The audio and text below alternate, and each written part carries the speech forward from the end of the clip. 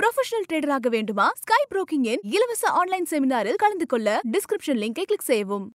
இந்த வாரம் நாணயம் விகடனில் என்ன ஸ்பெஷல் தெரியுமா? பட்ஜெட் இரண்டாயிரத்தி இருபத்தி இரண்டு முதல் இருபத்தி மூன்று. யாருக்கெல்லாம் ஏற்றம் யாருக்கெல்லாம் ஏமாற்றம்? விரிவான அலசல். மியூச்சுவல் ஃபண்ட் முதலீட்டில் லாபத்தை குறைக்கும் ஏழு அம்சங்கள். நாடு போற்றும் நாச்சியார் கோவில் குத்துவிளக்கும் தஞ்சாவூர் ஓவியமும். ஜெர்மனி ஹாங்காங்கில் எங்கு துணிதா? ஏற்றுமதியில் கலக்கும் கரூர் இளைஞர். தங்கத்தில் லாபகரமாக முதலீடு செய்வது எப்படி? நாணயம் விகடன் தற்போது சனிக்கிழமை காலை வெளியாகிறது. வாங்கி படிக்க மறக்காதீங்க. நாணயம் சேனல் நேயர்களுக்கு அன்பு வணக்கம்.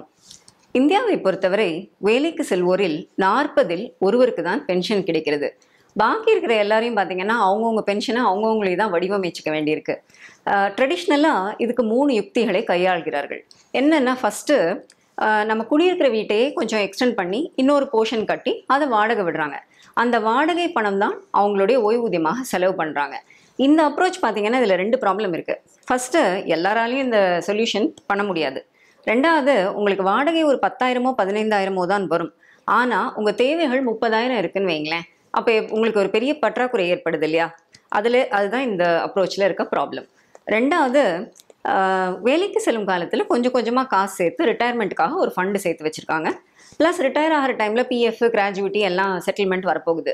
இது மொத்த லம்சமையும் சேர்த்து ஒரு எஃப்டியாக போட்டு அந்த எஃப்டியில் வர இன்ட்ரெஸ்ட் இன்கம்மை எடுத்து அவங்க ஓய்வூதியமாக செலவு பண்ணுறாங்க இது முதல் ஐந்து ஆண்டுகளுக்கு இது ஓகேங்க ஐந்து ஆண்டுகள் கழித்து என்ன ஆகும்னா இந்த வட்டி பணம் விலைவாசி உயர்வுக்கு ஈடு கொடுக்குமா? அப்படின்னா அது ஒரு பெரிய கொஷின் மார்க் தான். அதுலேருந்து நிச்சயமாக பற்றாக்குறை தான் வரப்போகிறது.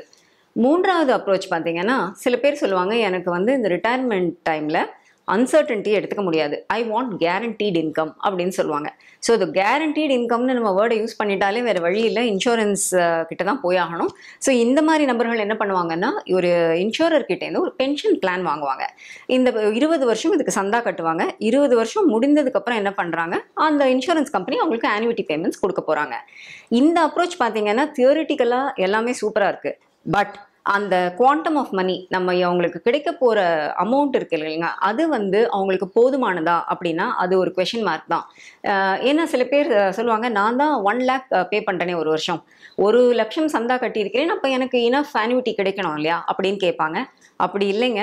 நம்ம ரெக்குவயர்மெண்ட் வந்து இன்னைய தேதியில் மூணு லட்சம் வருஷத்துக்கு வேணும்னா நம்ம கிட்டத்தட்ட அதே அமௌண்ட்டை சந்தா கட்டினா தான் நம்மளுக்கு வந்து ஆனுவிட்டி கிடைக்கும்.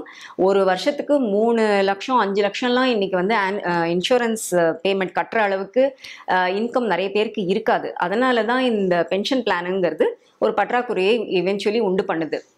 ஸோ ட்ரெடிஷ்னலாக இந்த மூணு அப்ரோச்சஸுமே வந்து ஷார்ட் ஃபால் கொடுக்குது அப்படின்னா இந்த பென்ஷனுக்கு என்னதான் தீர்வு? வேற சொல்யூஷனே இல்லையா? அப்படின்னா தீர்வு இருக்குங்க. அது பேர் தான் எஸ்டபிள்யூபி சிஸ்டமேட்டிக் வித்ட்ராவல் பிளான் இந்த எஸ்டபிள்யூபி டூவில் நம்ம எப்படி செயலாக்குவது அப்படிங்கிறதுக்கு ஒரு உதாரணம் எடுத்துக்கலாம். சப்போஸிங் இன்றைக்கி ஒருத்தர் ரிட்டையர் ஆகிறாரு. அவர் சொல்கிறாரு எனக்கு மாதந்தோறும் முப்பதாயிரம் எனக்கு சம்பளம் வேணும். அது அந்த முப்பதாயிரம் எவ்ரி இயர் நான் இன்ஃப்ளேஷன் அட்ஜஸ்ட்டும் பண்ணணும். மூன்றாவது கண்டிஷன் எனக்கு டுவெண்ட்டி இயர்ஸ்க்கு இந்த பேமெண்ட் கிடைக்கணும் அப்படின்னு சொல்கிறாரு சரி இவர் தான் ரிட்டையர் ஆயிட்டாரு. மாதம் மாதம் எப்படி இதை மாதிரி செய்வது அப்படின்னா அங்கே தான் எஸ்டபிள்யூபியோட யூஸையே நம்ம பார்க்கலாம். ஸோ பல அட்வான்டேஜஸ் இருக்குது ஒன்று ஒன்றா பார்க்கலாம். ஃபஸ்ட்டு இந்த எஸ்டபிள்யூபி செட்டப் பண்ணிட்டீங்கன்னா அந்த என்ன அமௌண்ட் வந்து இவருக்கு இந்த டுவெண்ட்டி இயர்ஸ்க்கு தேவைன்னு நம்ம கம்ப்யூட் பண்ணி ஃபார் எக்ஸாம்பிள் இவரோட கேஸில் அறுபது லட்சம்னு வருதுன்னு வைங்களேன். இந்த சிக்ஸ்டி லேக்ஸை கொண்டு போய் நம்ம ஒரு மியூச்சுவல் ஃபண்ட் போர்ட்ஃபோலியோவில் இன்வெஸ்ட் பண்ண போகிறோம் it will have a mix of funds dept funds equity funds hybrid funds எல்லாமே இருக்கும். இதுலேருந்து நம்ம எஸ்டபிள்யூபி செட்டப் பண்ணால் ஒரு தேதியை தேர்ந்தெடுப்போம். சம்பளம் மாதிரியே மாதம் மாதம் ஒன்றாம் தேதி அன்னைக்கு அவரோட சேவிங்ஸ் பேங்க் அக்கௌண்ட்டுக்கு அந்த முப்பதாயிரம் வரப்போகுது. ஸோ ஃபஸ்ட்டு ரெகுலர் இன்கம் அது செட்டில் ஆகிடும் ரெண்டாவது இந்த முப்பதாயிரம் இவர் ஒரு மாதம் வித்ட்ரா பண்ணதுக்கப்புறம் அந்த அறுபது லட்சத்தில் இருக்கிற பாக்கி அத்தனை அமௌண்ட்டுமே அப்ரிஷியேட் ஆகி ரிட்டர்ன்ஸ் கொடுத்துக்கிட்டே தான் இருக்க போது ஆன் அ டெய்லி பேசிஸ் அது எஸ்டபிள்யூபி அண்ட் இந்த போர்ட்ஃபோலியோவோட பெரிய அட்வான்டேஜ் மூன்றாவது விஷயம் every year five percent or six percent இந்த தேர்ட்டி தௌசண்டை அவர் ஸ்டெப் அப் பண்ணி இன்ஃப்ளேஷன் அட்ஜஸ்ட் பண்ணிக்கலாம். அதாவது முதல் வருடம் முப்பதாயிரம் ட்ரா பண்ணலாம். இரண்டாவது வருடம் முப்பத்தி இரண்டாயிரம் ட்ரா பண்ணலாம். மூன்றாவது வருடம் thirty three thousand five hundred அப்படின்னு அவர் ஸ்டெப் அப் பண்ணிக்கிட்டே போகலாம். இது அவருக்கு twenty years it will last so இது ஒரு மிகப்பெரிய அட்வான்டேஜ் ஆஃப் யூஸிங் எஸ்டபிள்யூபி நான்காவது பார்த்தீங்கன்னா ஃப்ளெக்சிபிலிட்டி இப்போது ஒரு நாலஞ்சு வருஷம் ரிட்டையர் ஆகி இந்தியாவில் இருக்காரு. அதுக்கப்புறம் மகன் மகனோடையோ இல்லை மகளோடையோ போயிருக்கணும்னா அவங்க இந்தியாவில் இருக்கலாம் அப்ராடில் இருக்கலாம். அப்போ என்ன இவங்களோட தேவைகள் முப்பதாயிரம் இருக்காது. ஒரு மாதம் பத்தாயிரம் இந்தியாவிலே இருக்க போகிறாங்க அப்படின்னா ஒரு டென் தௌசண்ட் ருபீஸ் அவங்களுக்கு கிடைச்சா போகிறோம் அப்போ அதை ஸ்கேல் டவுன் பண்ணிக்கலாம். இல்லை இவங்க அப்ராட் போய் இருக்க போகிறாங்க ஒரு ரெண்டு மாதம் ரெண்டு வருஷம் அப்படின்னா அந்த டூ இயர்ஸ்க்கு வந்து எஸ்டபிள்யூபியை கம்ப்ளீட்டாக ஸ்டாப் பண்ணிடலாம். அப்போ என்ன ஆக போது வித்ட்ராயல்ஸ் இருக்காது. ஆனால் உங்கள் போர்ட்ஃபோலியோ அங் அதுலேயே தான் க்ரோ ஆகி உங்களுக்கு ரிட்டர்ன் கொடுக்க போகுது. ஃபைனலி டேக்ஸ் என்ன இதில் டேக்ஸ் அட்வான்டேஜ் பார்த்தீங்கன்னா ஒரு வருஷம் இவர் வந்து நாலு லட்சம் வித்ட்ரா பண்ணால் கூட அந்த நாலு லட்சம் ஆனுவிட்டி பேமெண்ட்ஸ்னு டேக்ஸுக்கு ஆஃபர் பண்ண வேண்டாம். ஏன்னா இந்த இது வந்து கேபிட்டல் ஆசெட் ஸோ இந்த கேபிட்டல் வித்ட்ராவலுக்கு கரஸ்பாண்டிங் கேபிட்டல் கெயின் என்ன அப்படின்னு டிட்டர்மின் பண்ணணும். ஒரு எக்ஸாம்பிளுக்கு நம்ம வந்து இந்த டென் பர்சன்ட்னு வச்சுக்கலாம். அப்போ அவரோட கேபிட்டல் கெயின் வந்து நாற்பதாயிரம் தான். இந்த நாற்பதாயிரம் தான் அவருக்கு இன்கம் ஸோ ஒன்லி இந்த forty thousand has to be offer to tax நீங்கள் பார்த்தீங்கன்னா அறுபது வயது தாண்டினாலே மூணு லட்சம் வரைக்கும் டேக்ஸ் எக்ஸம்ஷன் கம்ப்ளீட்டாக ஜீரோ டேக்ஸ் அப்போ இவருக்கு இது மட்டும்தான் அவருக்கு இன்கமாக இருந்ததுன்னா he also gets away from tax so zero tax கிடைக்குது. இந்த மாதிரி பல அட்வான்டேஜஸ் இந்த எஸ்டபிள்யூபியில் இருக்கிறதுனால இது ஒரு பென்ஷன் கிரியேட் பண்ணுறதுக்கு ஒரு மிகவும் ஏதுவான சிறந்த ஒரு டூல் சரி இது பென்ஷன் கிரியேட் பண்ணுறதுக்கு மட்டும்தான் யூஸ் பண்ண முடியுமா? வேறு யூசஸ் இல்லையா அப்படின்னா நிறைய யூசஸ் இருக்குங்க. இன்னும் ஒரு அப்ளிகேஷன் கூட நம்ம பார்க்கலாம்.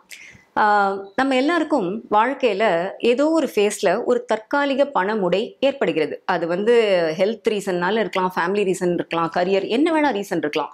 பட் நீங்கள் யாருடைய ஒரு twenty thirty years life career span எடுத்து பாருங்கள் டெஃபினட்டாக ஒரு இரண்டு முறையாவது அவங்களுக்கு அந்த பெரிய பணமுடை அவங்க சந்திச்சிருப்பாங்க. அப்போ அந்த மாதிரி காலங்களில் அவங்க எப்படி இந்த பணமுடைய வந்து சமாளிக்கிறாங்க அப்படின்னு பார்த்தீங்கன்னா most likely family friends or informal லோனுக்கு தான் போகிறாங்க பதினைந்து பர்சன்ட்லேருந்து முப்பத்தி நாலு ஆறு முப்பத்தி ஆறு பர்சன்ட் வரை கூட அவங்க வட்டிக்கு கடன் எடுக்கிறாங்க. இந்த கடனில் மாட்டி அதில் மீள முடியாமல் கூட நிறைய குடும்பங்கள் தவிக்கின்றன. ஸோ இந்த மாதிரி லோனுக்கு போகாமல் வேறு ஏதாவது வழி இருக்கான்னா எஸ்டபிள்யூபி இதுக்கும் ஹெல்ப் பண்ணும். இது எப்படி நடக்குது அப்படிங்கிறதுக்கு ஒரு உதாரணம் பார்க்கலாம். இன்னைக்கு ஒரு நாற்பத்தி ஐந்து வயது நபர். அவர் வந்து ஒரு பத்தாண்டு காலமாக தன்னுடைய பிள்ளைங்களோட எதிர்காலத்துக்காகவும் தன்னுடைய ரிட்டையர்மெண்ட்டுக்காகவும் ரெகுலராக எஸ்ஐபி போட்டுக்கிட்டே வராரு. ஒரு பத்தாண்டுகள் போட்ட எஸ்ஐபியோட மதிப்பு இன்னைக்கு பார்த்தீங்கன்னா அவரோட போர்ட்ஃபோலியோ ஒரு தேர்ட்டி லேக்ஸ் சேர்ந்திருக்கு. பட் இந்த பேண்டமிக்னால அவருக்கு வந்து ஒரு பே கட் நடந்திருக்கு. அப்போது அவருக்கு வந்து ஒரு சப்ளிமெண்டல் இன்கம் ஒரு டுவெண்ட்டி ஃபைவ் தௌசண்ட் ருபீஸ் தேவைப்படுது. Only for one or two years not for long அப்படி இருந்தால் இவர் என்ன பண்ணணும்? யூ ட்ரெடிஷ்னலாக பார்த்தீங்கன்னா இப்போ கடன் வாங்கியிருப்பாரு. இப்போ அவர் வந்து கடனே வாங்க வேண்டாம். அவரோட போர்ட்ஃபோலியோ தேர்ட்டி லேக்ஸ் இருக்கு இல்லையா? அதுதான் அவருக்கு கடன் கொடுக்க போது actually at zero percent interest so இது எப்படி செயலாக்கலாம் அப்படின்னு பார்த்தீங்கன்னா இந்த இரண்டு வருடங்களுக்கு அது ஒரு SWP twenty five thousand rupees per month நம்ம செட்டப் பண்ண போகிறோம் ஸோ இந்த ரெண்டு வருடங்களில் பார்த்தீங்கன்னா டோட்டலாக அவர் வித்ட்ரா பண்ண போகிற அமௌண்ட் வந்து சிக்ஸ் லேக்ஸ் ஸோ தேர்ட்டி லேக்ஸில் தொடங்கியிருக்கோம். சிக்ஸ் லேக்ஸ் எடுத்துடுறாரு. ரெண்டு வருஷம் கழிச்சு டுவெண்ட்டி ஃபோர் லேக்ஸ் தான் ஒரு போர்ட்ஃபோலியோவில் இருக்குது அப்படின்னு நம்ம நினைப்போம். ஆனால் அந்த பியூட்டி ஆஃப் எஸ்டபிள்யூபி என்னன்னா நீங்கள் இந்த டுவெண்ட்டி ஃபைவ் தௌசண்ட் வித்ட்ரா பண்ணதுக்கப்புறம் பாக்கி இருக்கிற கேபிட்டல் எவ்ரிடே அப்ரிஷியேட் ஆகி அதுலேயே ரிட்டர்ன்ஸ் கொடுத்துட்டே அக்யூமுலேட் ஆகிட்டு வர்றதுனால ரெண்டு வருஷம் நீங்கள் சிக்ஸ் லேக்ஸ் வித்ட்ரா பண்ணால் கூட at the end of two years திருப்பி அந்த போர்ட்ஃபோலியோ முப்பது லட்சமாகவே நிறைந்து விடும். இதுதான் இதோட மிகப்பெரிய அட்வான்டேஜ் ஸோ uh, இந்த மாதிரி uh, நிறைய விஷயங்களுக்கு நம்ம வந்து இந்த எஸ்டபிள்யூபியை யூஸ் பண்ணலாம். To create your pension to create பேரண்ட்ஸுக்கு ஒரு இன்கம் கொடுக்கணும்னு நினை- நினைக்கிறவங்க அதுக்கு கிரியேட் பண்ணலாம். பட் என்னன்னா இது தற்காலிக பணமுடைக்காக தான் நம்ம வந்து யூஸ் பண்ண முடியும். இதை பர்மனெண்ட்டாக யூஸ் பண்ண முடியாது. பர்மனெண்ட்டாக எப்போ யூஸ் பண்ணணும்னா நமக்கு தேவையான கார்பஸை ரிட்டையர்மெண்ட் பென்ஷன்னு சேர்த்து வச்சுட்டு ரிட்டையர் ஆகிற டைம்லேருந்து தான் அதை யூஸ் பண்ண முடியும். ஸோ இந்த மாதிரி uh, எஸ்டபிள்யூபியை சரிவர பயன்படுத்தினால் அது நம்மளுக்கு பேருதவியாக பல தருணங்களில் அமையும். வாழ்த்துக்கள் நன்றி. ஸ்கை புரோக்கிங்கின் ஸ்டாக் மார்க்கெட் மற்றும் கமோடிட்டி மார்க்கெட் குறித்து இலவச ஆன்லைன் செமினாரில் கலந்து கொண்டு நீங்களும் ப்ரொஃபஷனல் ட்ரேடராக மாறலாம். முன்பதிவுக்கு டிஸ்கிரிப்ஷன் லிங்கை கிளிக் செய்யவும்.